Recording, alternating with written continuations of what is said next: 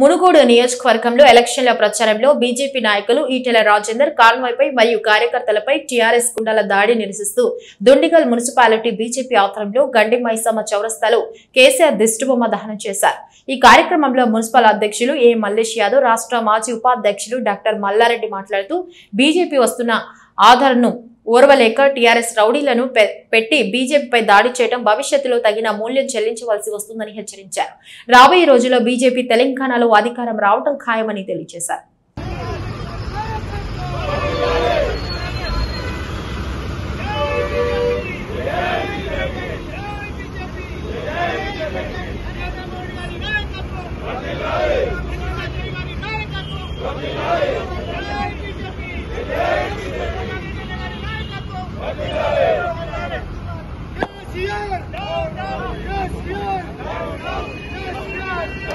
ముంగోడ్ నియోజకవర్గంలోని మలివెల గ్రామంలో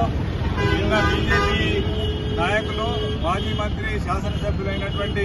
ఈటెల రాజేందర్ గారి మీద రాళ్ళతో దాడి చేయడం ఏదైతుందో దీన్ని భారతీయ జనతా పార్టీ తీవ్రంగా ఖండిస్తుంది. టీఆర్ఎస్ పార్టీ ఓడిపోతామన్నటువంటి భయంతోనే ఇవాళ భారతీయ జనతా పార్టీ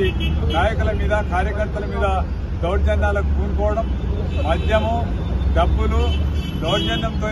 గెలుస్తామని అనుకోవడము కమ్మే అవుతుందని ఈ సందర్భంగా తెలియజేస్తూ రేపు జరగబోయేటటువంటి ఎన్నికల్లో భారతీయ జనతా పార్టీ అభ్యర్థి సేవా తత్పరుడు మరి మాజీ గతంలో శాసనసభ్యుగా ఉండి పార్టీ మారినప్పుడు శాసనసభ్యత్వానికి రాజీనామా చేసి బీజేపీ అభ్యర్థిగా నిలబడినటువంటి కోమటిరెడ్డి రాజగోపాల్ రెడ్డి గారు తప్పకుండా ఈ యొక్క ఎన్నికల్లో గెలుస్తారని సందర్భంగా తెలియజేస్తూ ఇప్పటికైనా టీఆర్ఎస్ నాయకులు బీజేపీ నాయకుల మీద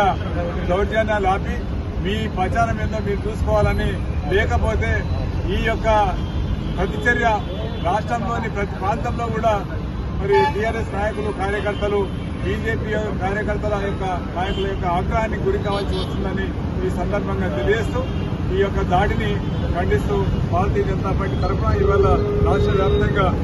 ఈ టీఆర్ఎస్ వ్యతిరేకంగా ఈ యొక్క దుష్కుమార్ తరలించడం జరిగింది. ఆ నిరసన కార్యక్రమంలో పాల్గొన్నటువంటి బీజేపీ నాయకులు కార్యకర్తలందరూ కూడా మా తరఫున పార్టీ తరఫున